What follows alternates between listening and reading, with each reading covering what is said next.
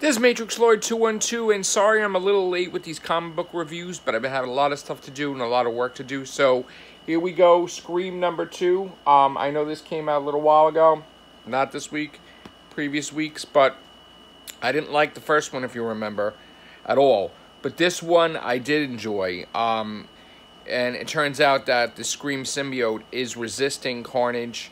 Uh, first, it attacked Andi Benton which was a host of Scream at one point in time. Um, but then, you know, through communication, and Andi Benton has like some type of demonic powers, but yet she was also a host for the Scream. She communicates with Scream, and Scream decides to break control of Carnage. Meanwhile, there's all these Carnage minions attacking. And then through this link, Carnage finds out where they are and shows up at the end. Uh, it was a lot, lot better than the first issue. Um, so I'm actually happy I didn't waste like $4. Um, Absolute Carnage is a great series. Um, so this was a nice addition to it. Uh, you know, and I'm going to have to review the other ones. So they'll be popping up here as well. All right, guys, have a great day. Take care. Bye for now.